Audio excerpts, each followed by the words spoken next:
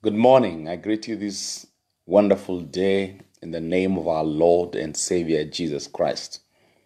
My name is Pastor Johnstone Sakwa coming to you live on the scripture prescription. Welcome. This morning, I would like to speak about a very interesting subject that God qualifies anyone for functioning, or God qualifies one to function. And when you look at it in the context of human perspectives, you'd realize that God has always gone beyond what is normally expected. Why do I say so? I want to bring some illustrations and I'll read the word.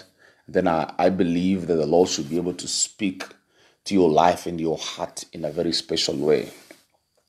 You see, when David was being anointed as king by prophet Samuel, you would realize that uh, what the father Jesse imagined that would be the people be anointed as king in his family was not what God was looking at. As a matter of fact, the Bible tells us that all the sons of Jesse were brought before the prophet. They were good in stature. They appeared like men of war. And it is true because we realize when David went to fight Goliath, all his brothers were already in the battlefield. So they were men that were seasoned in war. But God was not looking at that until Jesse was asked by the prophet, Do you have any other son? And the Bible records to us that we will not sit down until the son comes back. And then David was anointed as king. So, somewhere else, the Bible tells us that God does not look at the physical appearance, but he looks at the intentions of the heart. So I want to say that God is the one who qualifies individuals of people or people to function. It's not about you self declaring yourself having the capacity to function under God. God has never operated like that.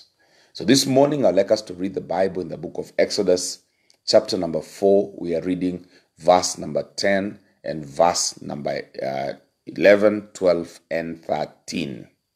So you can understand that it's God who qualifies individuals to function. Now, Exodus 4, verse number 10 says, But Moses pleaded with God, O Lord, I'm not very good with words. I never have been, and I'm not now. Even though you have spoken to me, I get tongue tied and my words get tangled. Then the Lord asked Moses, who makes a person's mouth? Who decides whether people speak or do not speak? Hear or do not hear? See or do not see? Is it not I, the Lord? Now go. I will be with you as you speak, and I will instruct you in what to say. Verse number 13. But Moses again pleaded, Lord, please send someone else. Now, I want you to understand that based on the fact, on the reasons that Moses is giving, you do realize that he was the most unqualified, humanly speaking, most unqualified to be the one to be sent by God to go and deliver the children of Israel. But this was God's choice. Moses still was God's choice. And he gives every reason why he should not be the one to be sent to go and do the great task that God has given to him. I want you to know, ladies and gentlemen, that it is not about human qualification. It's about God's plan, purpose, and desire for you to deliver His purpose. Now, I've preached this before, and I want to submit to you that when, when a manufacturer comes up with a product, when the product is sold, it comes with a manual. The manual is the one that defines how the product operates. And you'd be a fool to use a product without reading the manual to understand how that product operates, which is really the mind of the manufacturer. Now, if you disregard reading the manual, you might not use that product to the best of its capacity and abilities because you could miss out on something. For instance, if a product or a machine is supposed to use petrol and then you put diesel because of your own understanding, the truth is, then you will spoil the product. The product might not work to the best of its capacity if you do not read the manual and internalize the perspective or the thought line of the manufacturer. So it is imperative that then you have to read the manual to understand the basic and actually the detailed functionality of the product to get good use out of it. Now, it is God who qualifies even the unqualified. It is God who qualifies even the unqualified. What do I mean? Moses knew himself. He knew he was not good with words, he was not eloquent.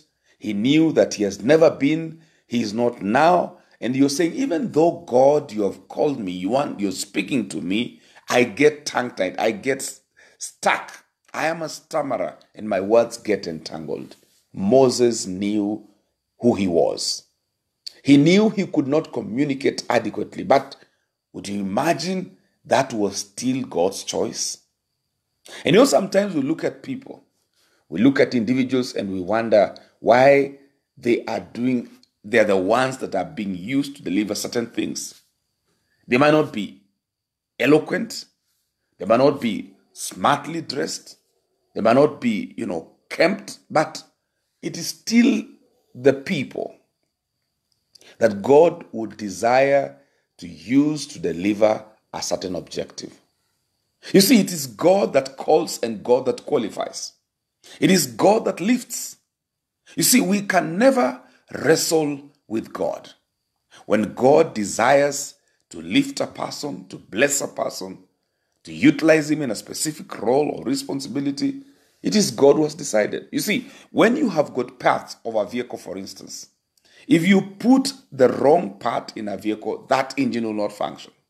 But you see, God knows who is supposed to function where and who can deliver the objective of God. God's choice on Moses remains God's choice. So I'm saying it is God that qualifies an individual to function.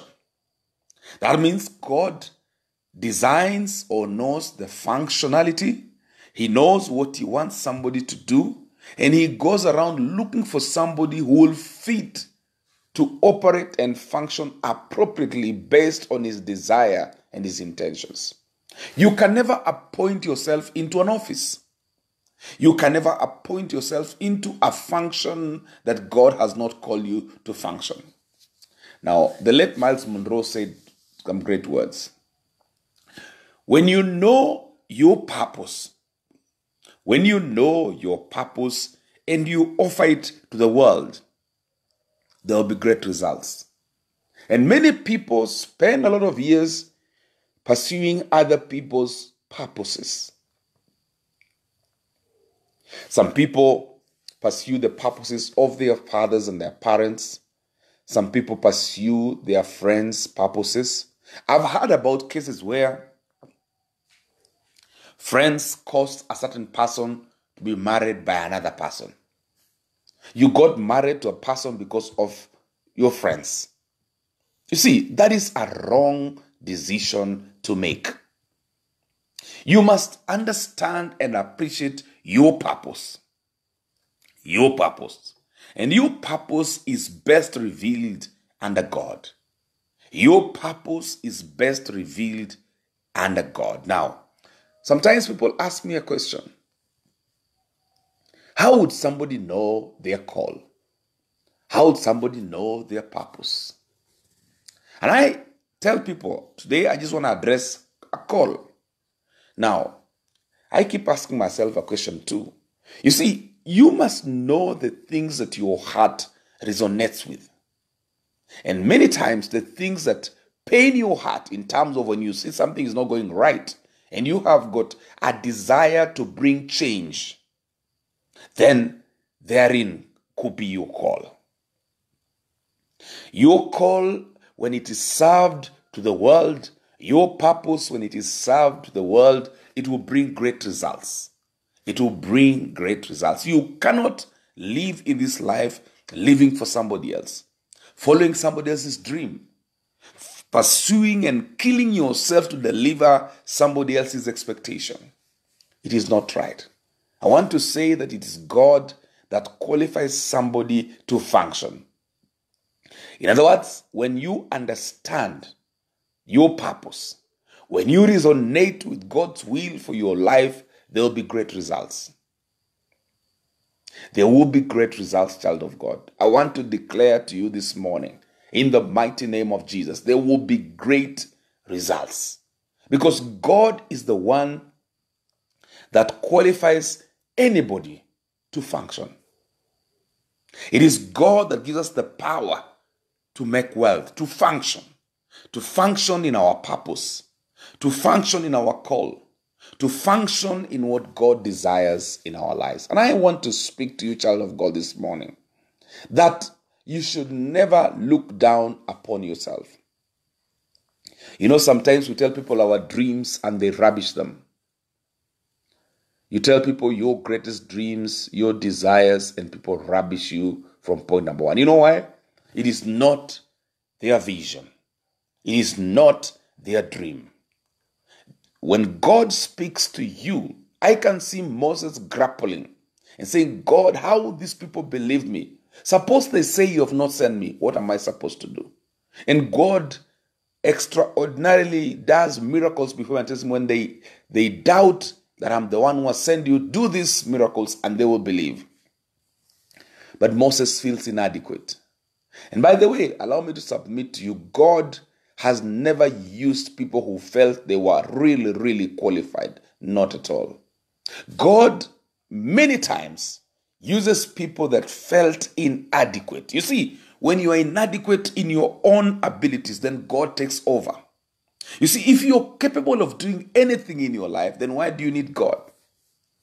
We need God because humanly we are inadequate. We don't have the capacity to do things, but God gives us the strength to do. That's why I'm saying God qualifies people to function. This morning, I don't know what is in your desire to do, whether professionally, whether in business, whether in ministry. I don't know what is it that makes your heart troubled. You know, in terms of making or providing a solution. Therein is where your purpose lies. Have you gone to a place and you feel, ah, this should not have been done like this? Should have been done the other way. Or assuming somebody should be, should have done this before or should have done it in this way. You have things that go through your heart and your mind, and you think you should have done something better. Maybe it's high time you pursue that direction. Maybe it's high time you sought God to help you achieve your purpose. When you realize your purpose, I can tell you, child of God, your life will never be the same again.